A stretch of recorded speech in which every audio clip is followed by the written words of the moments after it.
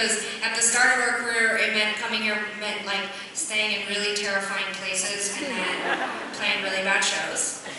And then as we got a little deeper into our career, we got to play better shows where we stayed at equally terrifying places. and then a little deeper into the career, we got to step it up a little bit and just leave after we played and go stay somewhere nice because we still could not afford to stay somewhere nice in New York City. And then Sara moved here.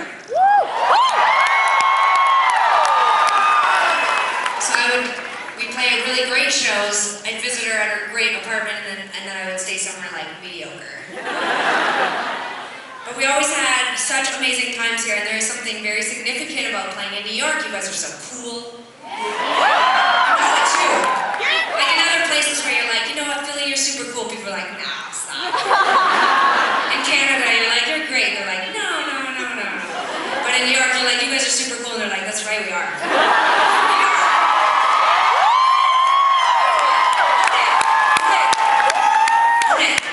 We've, this is the new era of Tegan and Sara when people are like, you guys are so funny. We're like, we know. And then when we leave, we just say to each other, like, I feel so insecure, I feel so bad. We've saying it to people. Um, I just told you, don't tell anyone else. Uh, we are really excited to be here, though. We've been really looking forward to it. And that first part of the set is where I feel really nervous, but now I can have a good time. So. Uh,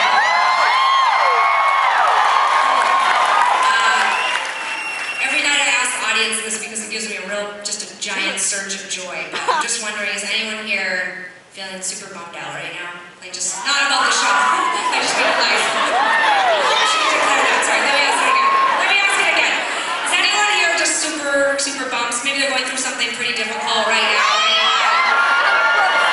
Okay. Okay. My favorite thing is to ask that question and then see people do this. Me. Uh, but tonight, I mean, it's very New York. It was like super sad. People went, guys. Uh, I want to dedicate this one to anyone who's having a rough time. This was a song that I wrote. It was pouring rain. I was really feeling sorry for myself. I was at peak pity,